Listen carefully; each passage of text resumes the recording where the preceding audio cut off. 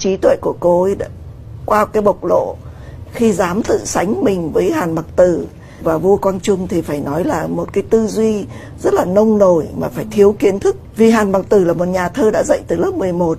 Cô này vào đại học chắc chắn phải đi qua lớp 11, chắc chắn phải biết Hàn Mặc Tử. Cô tưởng là cái danh cái danh vị hoa hậu cô là ghê gớm. Thực ra cái danh vị của hoa hậu của cô chỉ là một sự khẳng định về sắc đẹp thôi.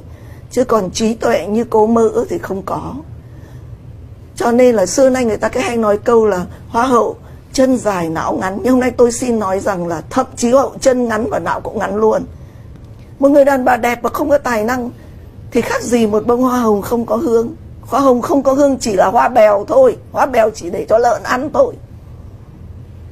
Chứ không ai lại nhặt hoa bèo cắm vào lộc bình cao quý làm gì cho nên nếu các nàng không cẩn thận thì các nàng không phải là những đóa hồng tỏa hương mà các nàng là hoa bèo nấu cám lợn.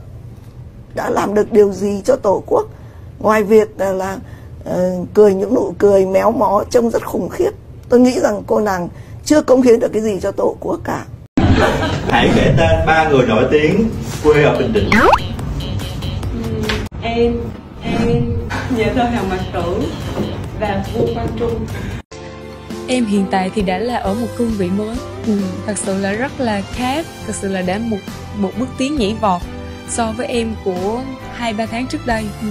vì vậy mà chắc chắn rằng bạn trai của em cũng phải có những cái sự thay đổi nhanh chóng hơn phải thật sự là uh, tiến bộ nhiều hơn để có thể theo kịp em